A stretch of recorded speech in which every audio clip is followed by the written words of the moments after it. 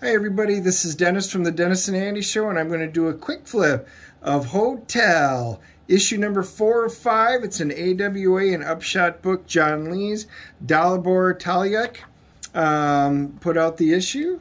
And as we flip through it, make sure you guys hit the like and subscribe button so you know when I put out quick flips like this. And if you want me to delve into it, just uh, type in hashtag full review. Um, look forward if you guys uh, join us for our live reviews. So uh, we'll do our comic book artists and we'll bring on writers as guest stars and uh, we'll do movie and TV show reviews. So it's a great time. We get to interact with you guys uh, directly. So hopefully you guys will be able to join us.